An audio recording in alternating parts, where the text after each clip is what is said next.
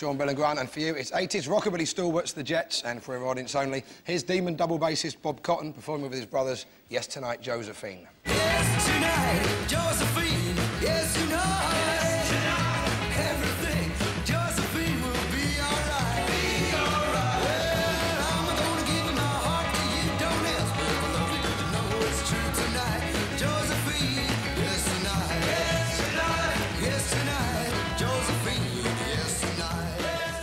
So, Sean's team, can you tell which is Bob Cotton and which isn't? Is it number one, Jumbo Jet? number two, Easy Jet? number three, Suffragette? number four, Jet? Ooh, ooh, ooh. Or number five, me, because you're going to do the jokes anyway. Might as well save some money on an extra.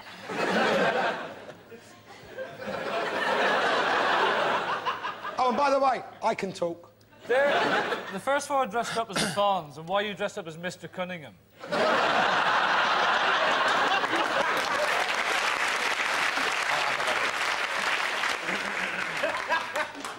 the Jets.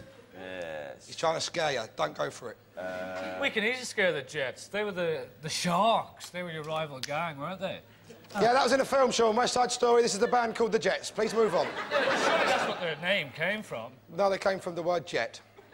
The question is, Which who do you think of these five people is Bob Cotton of the Jets? I don't want to know about your film fantasies. Just choose it and shut your mouth, OK? Number five. You. No, you can't have me because you know it's not me and you're making a mockery of me. I'll tell you what, no, yes, all right, it's number five you're going for. Is that your final answer? That's, the, that's your final answer. Not only did you say number five, my friend, but your friend there said you as well while he was talking to me. Five, let's see if indeed I am Bob Cotton of the Jets. Let's find out.